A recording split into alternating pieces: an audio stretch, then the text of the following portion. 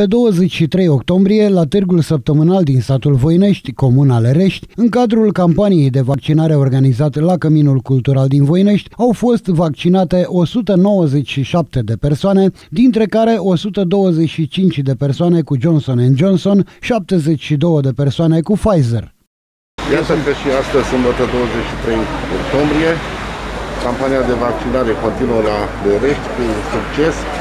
După cum știți, am făcut nenumărate campanii de vaccinare de la deschiderea câmpului și, după cum observați, lumea percepând mesajul că trebuie să ne vaccinăm, să ne imunizăm pentru a putea trece cu toții peste această pandemie.